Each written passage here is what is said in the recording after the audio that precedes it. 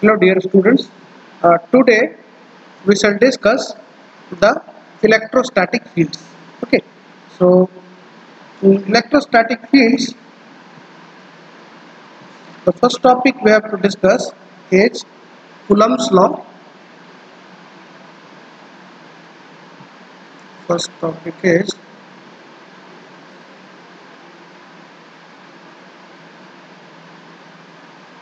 coulomb's law and field intensity. And field intensity.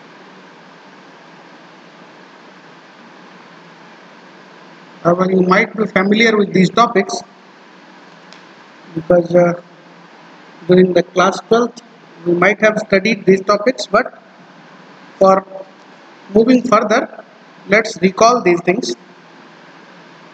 So what is coulomb's law? So coulomb's law it states that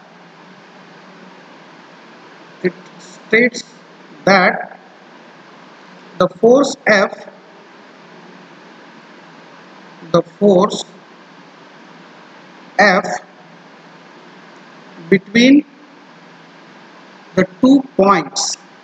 Say there are two points so the force F between the two points point charges actually two point charges q1 and q2 okay? Is is directly proportional is directly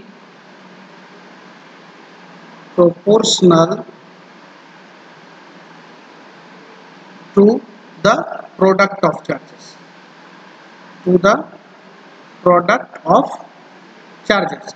That is if the two charges are q1 and q2 then the force between the two charges are directly proportional to the product of charges that is q1 and q1 into q2 and second that it is inversely proportional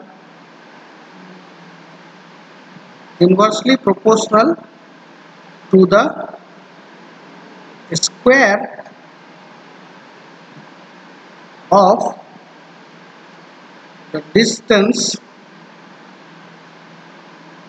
the distance and the, let's say the distance is r so distance r between them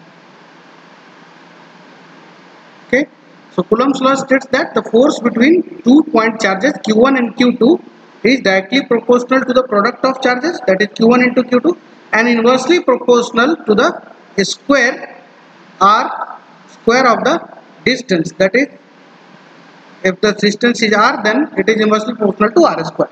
Okay. So if we write it mathematically if we write it mathematically so f will be what? F will be k the constant because we if we remove the uh, proportionality sign the constant will appear. So it is directly proportional to the product of charges. So you will write q1 into q2 in the numerator and inversely proportional to the square of the distance between them. So upon r square. Okay. So this is the mathematical representation of the electrostatic force between the two charges q1 and q2 and separated by a distance capital R. Okay? Now this k is where this k is equal to 1 upon 4 pi epsilon 0 okay? And this constant this constant epsilon 0 is called the permittivity of free space. It is the permittivity of free space. Permittivity of free space. Okay. And uh, its value is its value is 8.854 into 10 raised to power minus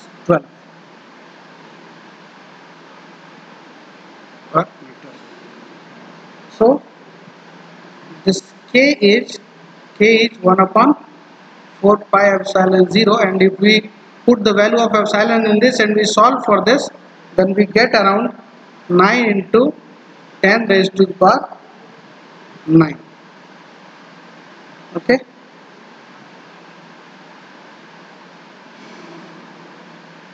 Okay? So this is the value of k. Okay? Fine so the expression for f can now be written as 1 upon 4 pi epsilon 0 q1 q2 1 r square okay? And since this is the four force so the unit is newton okay? Now what is electric field intensity? Is the electrostatic force. Okay? Now electric field intensity field intensity and this is represented by E. So what is this electric field intensity E? Okay. So electric field intensity is the force per unit charge when placed in an electric field. Okay. So it is also called the it is also called the electric field strength. Okay, because it is the measure of strength of electric field so it is also called electric field strength. Okay it's also called electric field strength. So this how it is defined? Electric field intensity or electric field strength denoted by the letter E. So it is it is the force per unit charge when when placed in an electric field. In an electric field. Okay? So as per the definition it is clear that E equals to E equals to F upon Q equals to F upon Q. So its unit would be force upon charge so Newton per coulomb. So this is the electric field intensity and obviously the direction of this E is what? The direction of this E will be in the direction of force. Okay. So E equals to we can say F by Q. Okay. So these are the things which we already know. So I would not go into the deep. Now we will discuss the continuous charge distribution. Okay. So the next topic is continuous charge distribution. Okay.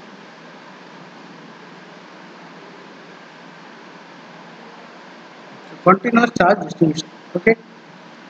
So depending upon the orientation of the charge it can be in a different shape. Okay so the charge distributions can be different like the point charge line charge surface charge and volume charge. Okay? So we can denote the different charges. Let's say if we have if we have a point okay? And the charge is located at this point. So it is called the this is called the point charge this is called the point charge okay? If the charge is placed on on some line okay? If the charge is placed on some line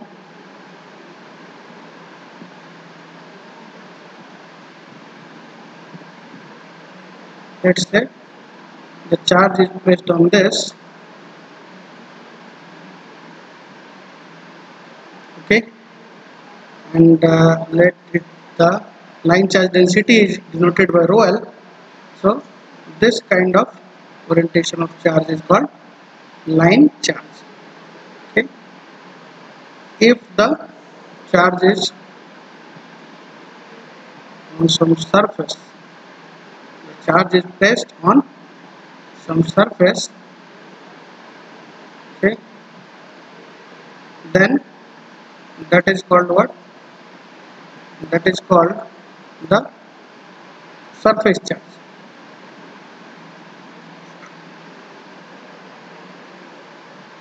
Since the charge is located on the surface so it is called the surface charge and the it is uh, denoted by rho s. That is surface charge density. Okay. And this is called the surface charge. And the next type can be can be in the form of volume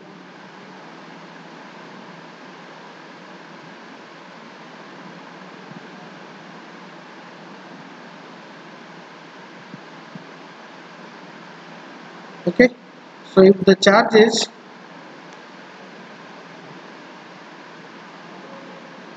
if the charge is placed in a volume or enclosed surface then that is called the volume charge. Okay charge is placed inside this volume. So this is this is the by rho v. So rho v is the volume charge density and this is the volume charge. Okay? So depending on the orientation of the charge it can be categorized into these types. Okay? So for line charge for line charge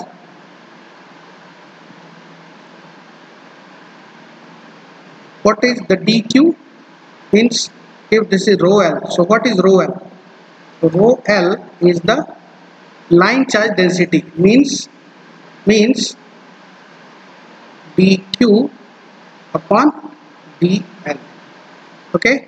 Charge per unit length that is rho l. Okay? So from here we can write dq equal to rho l dl and if you want to calculate this q whole q then we will have to integrate both sides. Okay? So this q equal to is rho l dl. Okay? And this is for line charge. This is for line charge. Okay? Similarly similarly if we talk of the surface charge then surface charge density rho s can be written as dq upon ds charge upon per unit area. Okay. So from here dq is equal to rho s ds and upon integration on both sides we can get the total charge and the charge can be calculated as rho s ds and this is your for surface charge. Surface charge okay? And for volume charge in the similar manner manner we can write del v. What is this del v? This is the volume charge density okay? So volume charge density is dq upon dv charge per unit volume. So from here we can write dq equals to rho v dv and upon integration we can get the whole q and this side it will be rho v dv and obviously it is the volume integral. And this is for the volume charge. Volume charge. Okay. Fine. So like this we can calculate the total charge. Okay? So this is the charge. Now if we want to calculate the electric field so what will be the electric field for the all the three orientations? That is line charge surface charge and volume charge. So e equals to what? E equals to we know that it is f by q. Okay? And what is f? F is your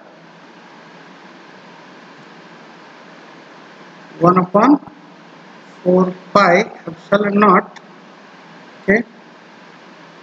Let's say same charge is there. So q into q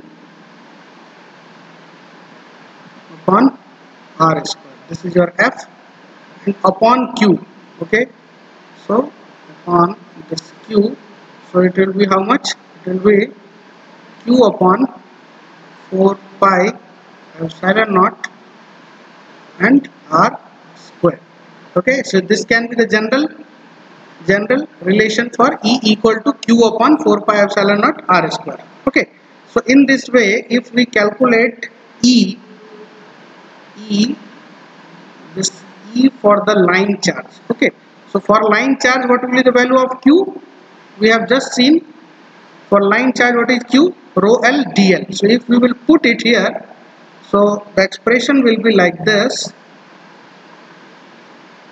Rho L dl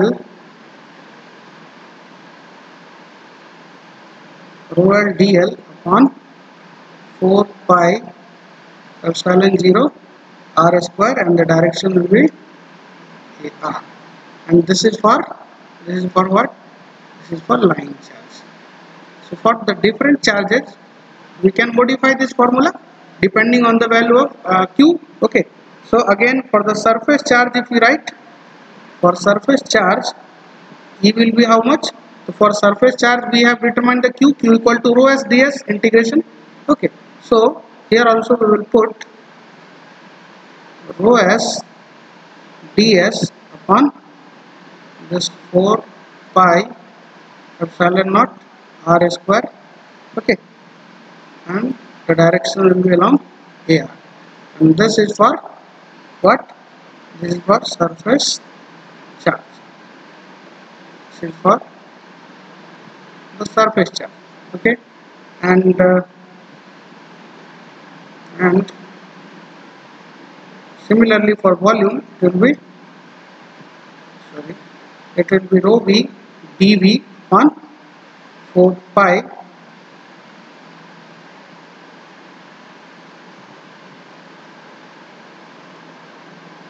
four pi epsilon naught r square okay and the direction of air so this is this is your volume for volume charge. Okay. So in this way with these relations we can calculate the electric field intensity for all the three charges that is line charge surface charge and volume charge okay? So they are the various charge distributions which we have just seen now. Okay? So further we have to calculate the electric field intensity for the line charge, surface charge and volume charge. Okay.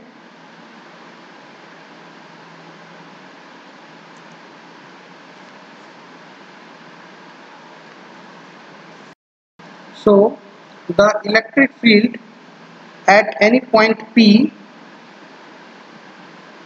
due to a line charge we have to see. So for the line charge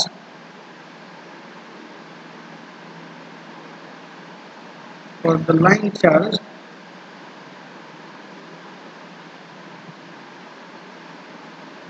so consider a line charge with uniform charge density rho l okay? So consider a line charge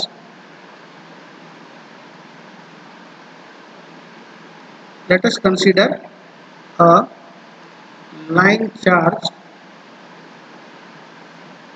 with uniform charge density with uniform charge density rho L which is extending from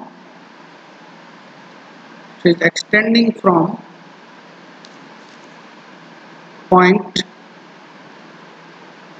point A to B and it is placed along the z axis okay? It is placed along the z axis. So let us draw three axes. So let say this is y this axis is x and this one is your z okay. Let me write it. It is the x-axis. This one is your y-axis and this is your z-axis. Okay. Now at some point p at some p point let us say we have to calculate the electric field intensity and the line charge is placed from point A to B. Okay? So the line charge is placed let's say from here to this line charge is placed. Okay. so it is extending from the point A to the point B okay. Now let's join these two points the end points of this line charge AB to the point at which intensity is intensity is required to be calculated. Okay. So we have point is join this let's say this one is the is the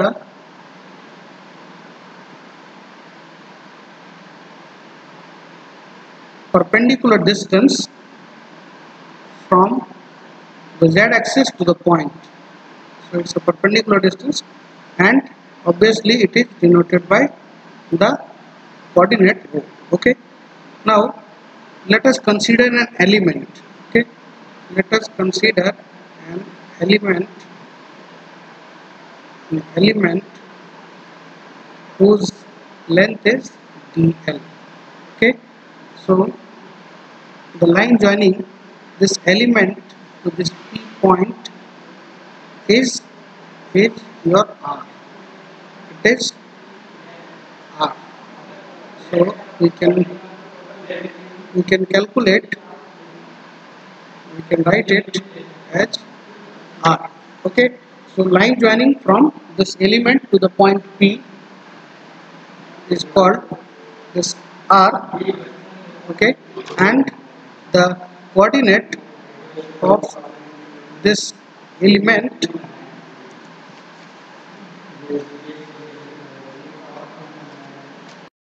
so the coordinate of this dl is 0 0 z dash okay? And this point the coordinate of this point uh, not this b point uh,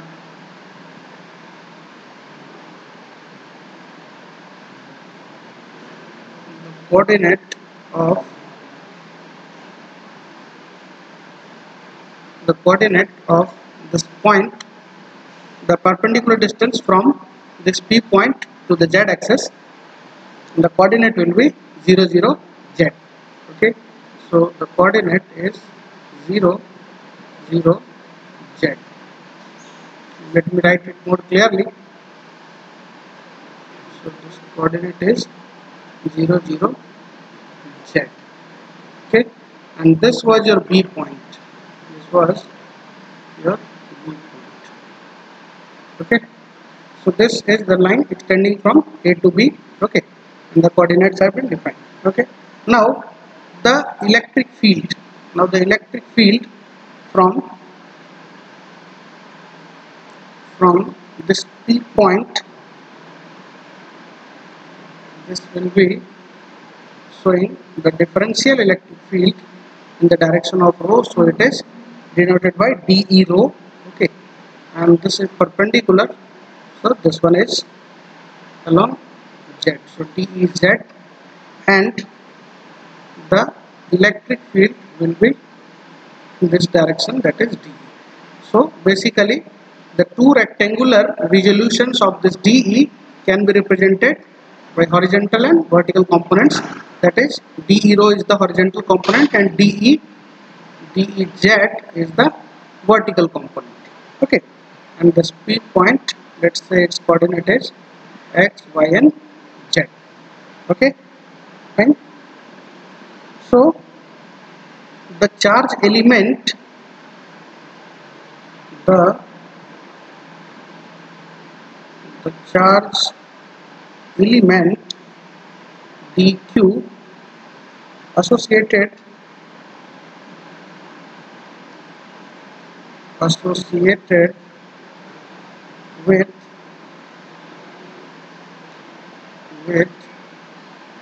element dl equals to dz.